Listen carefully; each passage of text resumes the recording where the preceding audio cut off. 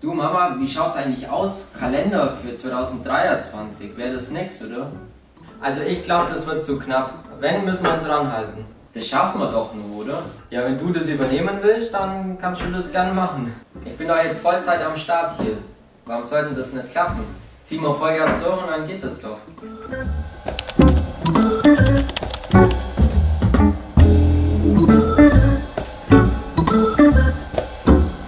Ich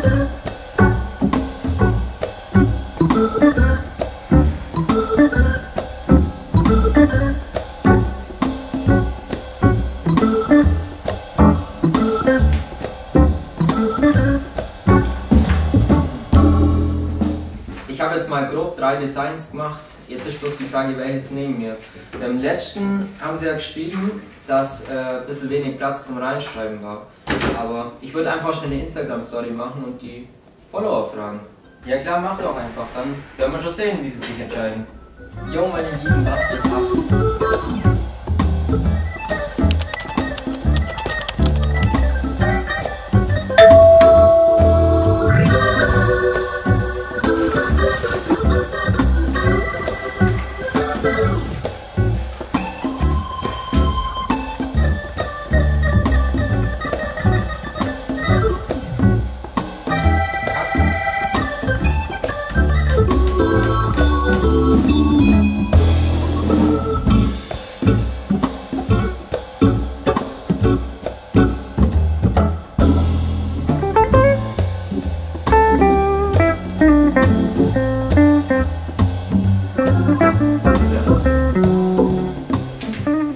So in etwa ist das Kalenderprojekt bei uns abgelaufen.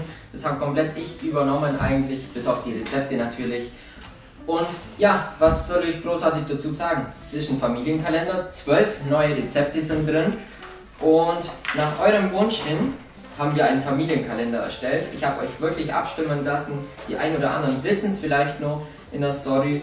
Und ja, es war eindeutig, dass ihr einen Familienkalender wollt mit Spalten für vier Personen und eine Geburtstagsspalte haben wir auch noch hinzugefügt. Außerdem ist im Kalender in fast jedem Monat ein Feiertag oder mehrere, die sind natürlich auch eingezeichnet. Und auf der vorletzten Seite haben wir euch noch die Schulferien zusammengefasst in jedem Bundesland und natürlich die gesetzlichen Feiertage auch nochmal aufgelistet. Wochentag vom jeweiligen Feiertag haben wir dazu geschrieben, dass man gleich sieht, ah, Donnerstag, mhm, dann kann ich Freitag einen Brückentag machen.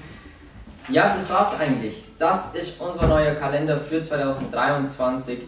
Wenn ich euer Interesse geweckt habe, dann schaut doch gerne mal in der Infobeschreibung. Da findet ihr gleich ganz oben den Direktlink zum Kalender.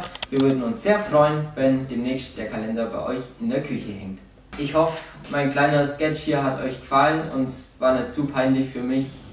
Doch, ein bisschen Fletcher. Aber ich hoffe, ich habe euch unterhalten können. Bis demnächst. Ciao, ciao.